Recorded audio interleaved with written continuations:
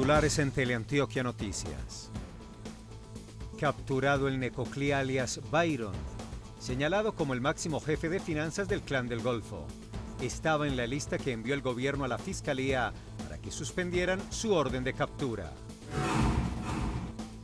Tras anuncio de alistamiento de cese al fuego del ELN, defensores de derechos humanos piden al gobierno reunir a esta guerrilla con grupos como el Clan del Golfo y evitar confrontaciones que afecten a la población. La Fiscalía formuló cargos contra 96 exintegrantes de las FARC y los paramilitares por el exterminio de la Unión Patriótica y de Esperanza, Paz y Libertad.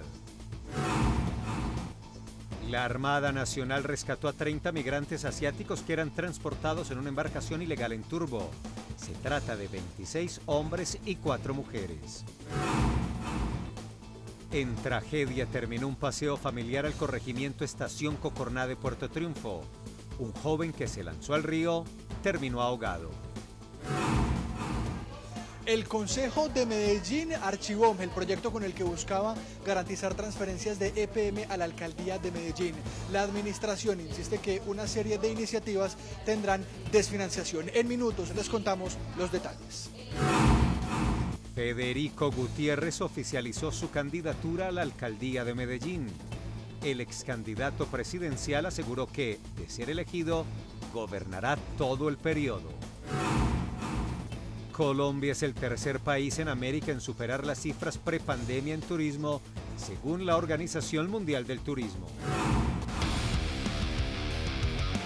En deportes, Alfredo Arias, nuevo técnico de Independiente Medellín, el uruguayo de 63 años llega luego de salir campeón con Peñarol en Uruguay. Además, ya están listas las 23 jugadoras que representarán a Colombia en el Mundial Femenino que comienza el 20 de julio en Australia y Nueva Zelanda. Y un salto de oro se registró para Colombia en los centroamericanos. Natalia Linares batió récord e hizo marca para los Juegos Olímpicos de París 2024 con 6 metros y 68 centímetros. En cultura y entretenimiento. El músico cubano Félix Pupi Legarreta, una de las leyendas de la Fania, falleció a los 83 años. El